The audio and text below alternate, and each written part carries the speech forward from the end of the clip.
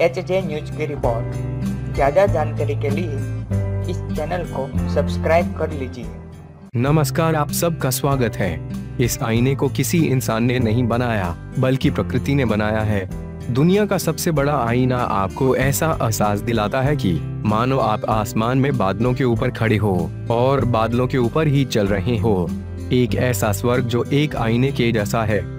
एक ऐसा आईना जो कांच का नहीं बना है, जो आपकी सोच से काफ़ी बड़ा है और जिसकी जगह आपके हाथों में नहीं, पैरों में है। उस आईने में केवल आपके चेहरे की खूबसूरती नहीं समाएगी, बल्कि आपके आसपास का पूरा खूबसूरत वातावरण भी। कितना खूबसूरत नज़ारा होगा, वह जब आप आप उस आईने में न केवल अपना चेहरा, बल्कि अपने साथ और आसपास हर चीज़ की झलक देख पाएँगे।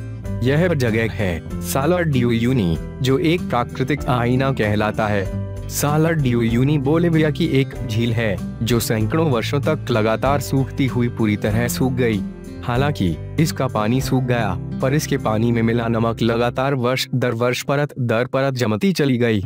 आज यह झील पूरी तरह सूखी हुई है। पर बारिश के मौसम में जब यहाँ हल्का पानी जम जाता है, यह प्राकृतिक आईने का काम करता है। दस हज़ार वर्ग किलोमीटर तक फैले इस झील के पानी में जमा कैल्शियम और लिथियम प्रकाश किरणों को परावर्तित करते हैं।